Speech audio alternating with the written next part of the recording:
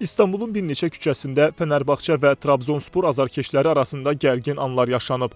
Kadıköydə, Bağdad küçəsində və digər meydanlarda bir qrup Fənərbağçə fanatı Trabzonspor bayrağı dalğalandırmağa çalışan futbol sevərlərə hücum çəkiblər. İnsidentin qarşısı polis müdaxiləsi ilə alınıb.